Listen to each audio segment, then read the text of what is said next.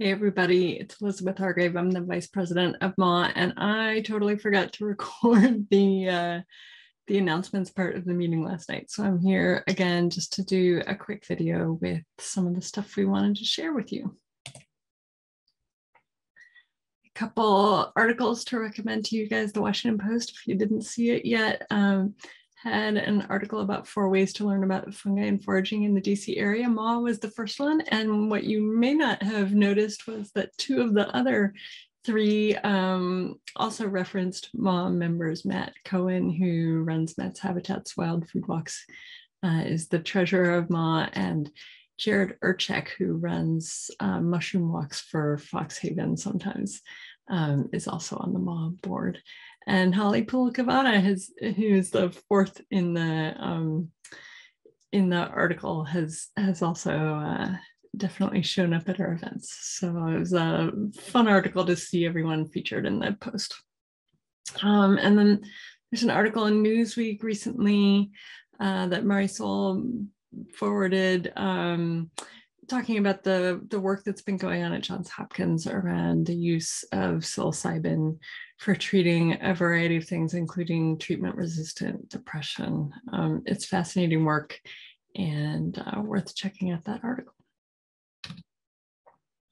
We had a great weekend foray up in Pennsylvania a few weeks back um, at the Sequanota Conference Center found 230 species of mushrooms at the final count. If you want to see pictures of some of them, if you go on iNaturalist and search for MAW Sequanota 2021, it'll bring up, there's I think about 130 different species um, that made it into iNaturalist over the course of the weekend. And we went ahead and reserved it for next year for Labor Day weekend. We're going to try a three day foray and see how that goes. So I hope folks can save the date and make it out for that. Uh, we had lots of great time looking at, at the mushrooms on the tables and also uh, you know going out in the woods and, and looking for mushrooms. And on saturday night there was a great group of folks in the kitchen who cooked up a bunch of the edible mushrooms that we had found. So great weekend. Thanks everybody if you missed Sequanota or if you were excited by it, we do a similar set of stuff over the weekend here locally in DC at the um, mushroom fair that we run at Brookside Gardens every October. So we have a whole bunch of forays scheduled for Saturday, October 16th. And then on October 17th, all afternoon, we will have them spread out on tables at Brookside Gardens. You can come take a look. Um, we'll take walks around the grounds of Brookside and, and Wheaton Regional Park. It's right there. Um, folks will bring microscopes. Uh, we'll have some videos showing. Um, feel free if you don't make it out on any of the forays, or even if you do, to bring mushrooms that you just find on your own for the table, and we will try and get them ID'd and see how many we can find over the course of that weekend some other upcoming events that weekend ha happens to be National Mushroom Day on Friday, October 15th. And uh, the folks who did the movie Fantastic Fungi have organized this global summit, they're calling it, uh, with tons of great looking speakers lined up. Um, our speaker for tonight, actually, excuse me, Mark Plotkin, uh, um, Paul Stamets, uh, Michael Pollan, all kinds of great people on the agenda. Um, you can look it up on their website and sign up for emails about it. Um, but it's going to be a lot of free live streams. And then there's also sort of a paid tier where you can participate in more things and, and download the, the videos.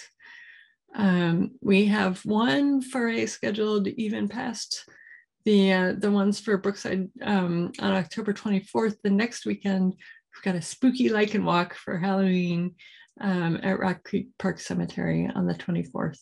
And then at the end of the month, really on Halloween, um, is the deadline for the MAW photo contest. So send in any good photos that you've taken this year of mushrooms, uh, and we will put together a presentation of that and maybe have some fun little prizes for folks who win the photo contest. John Harper wanted me to mention the culinary co-op that he has started. Um, it's on the MAW website under Culinary Co-op. Um, it's a thing you can join and participate in the online forums there, um, basically as a way for people to communicate about um, edible mushrooms that they have found. If you want to share them and set up little mini tastings, um, if you just you know found enough for a few people, you can do that. Uh, for it to be a MAW event, you do need to make sure that um, someone who's on the official identifier team for MAW takes a look at it and confirms that it is in fact edible. Uh, we like to keep everyone safe. And they're doing a, um, a sort of exploratory public event at, or, or MAW member event, but in a public location um, at the Anxo Cidery. Um, they're going to do a mushroom pizza party. Um, I think that is, is all full, but you can sign up for the wait list and you know express your interest and maybe we'll get more of those set up. Uh, one last thing I want to touch on is that MAW has set up a, a, more formal scholarship program. We've always had some funds available for sort of educational purposes um, that have been used in various ways, but we've established a formal application process um, and a few different tracks. Megan Romberg, who's our science advisor, has, has headed this up and I think we'd probably welcome additional support if if you want to help review applications or anything like that. But we are also looking for people to apply for the scholarships. Um, so please help spread the word. Uh, we've got funding available for undergraduates or graduate uh, students um, who need funding for things like supplies or equipment or travel, preferably on projects related to the mid-Atlantic area or mushrooms that grow here. Um, and then we ask people to provide a short presentation to um, a, MAW meeting and a, a, report that we can put in the newsletter. Um, and one of our presentations tonight from Thomas Rail is, is actually the result of some funding that, that MAW was able to give him for the work that he's doing right now in his graduate work. Um, the committee is also talking about putting together some introduction to mycology kits for educators. Um, so stay tuned on that or chime in if you have ideas. Um, and just uh, thanks to everyone who has joined MAW, especially the folks that add on a little donation uh, when you pay your membership fees, because uh, those are the funds that are making this possible. And there's been interesting stuff to come out of it. So thank you. And so we've got several great presentations tonight and thanks all for tuning in.